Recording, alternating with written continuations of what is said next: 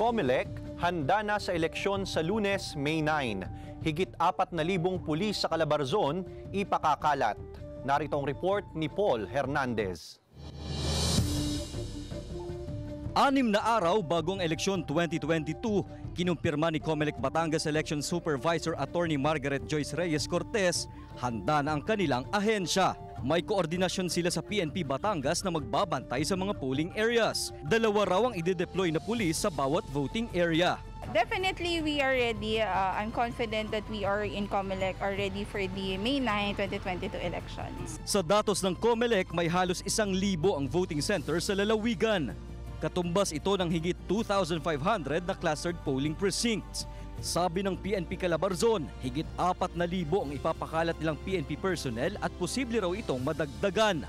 mayroon tayong quick reaction teams bawat uh, bawat istasyon. Then we have staging areas on identified areas, election areas of concern.